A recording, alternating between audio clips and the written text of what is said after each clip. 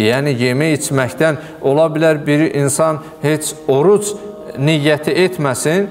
imsakdan iftara doğru, yəni saat 4-dən məsələn bugünkü vaxtından artıb 8-ə e, 20 dəqiqə qalmışa qədər nə yeyib, nə içib, başqa günahlar edib və biri isə